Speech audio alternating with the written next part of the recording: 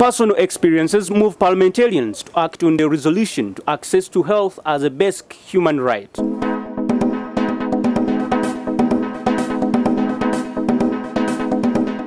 Good evening.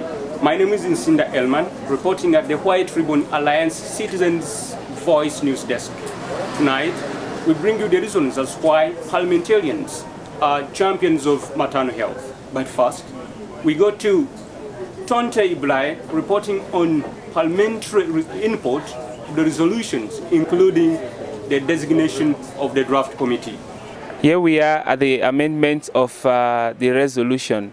There were contributions from delegates from different countries, especially the delegates from Uganda who um, called on the IPU to ensure that commitments made by government to maternal, newborn and child health are realized. He did mention that sanctions should be placed to countries that have failed to work towards the realization of those commitments. To address the suggested amendments, the Assembly elected a drafting committee, including Ulrika Karlsson from Sweden, who we spoke with earlier.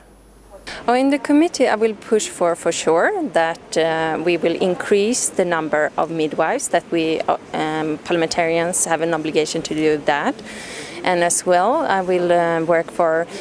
Uh, to increase and uh, the access to sexual education for all young people. It's very crucial. We need to have education and family planning. So there is overwhelming support for the draft resolution.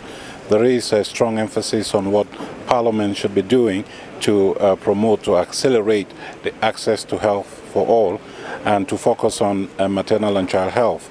This is very evident in the discussions that uh, have taken place.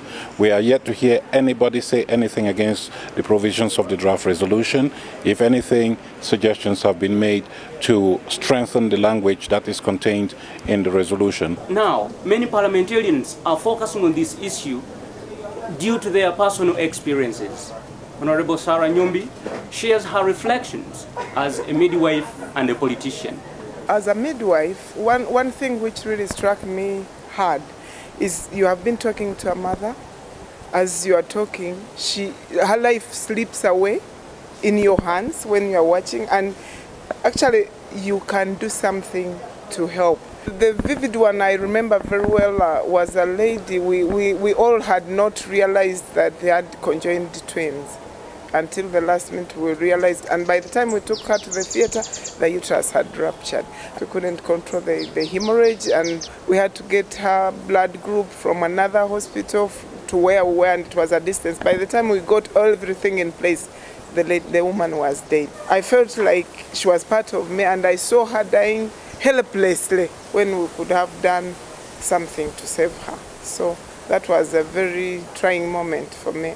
We have also received comments from other politicians, including the Rwanda's President of Senate, Dr.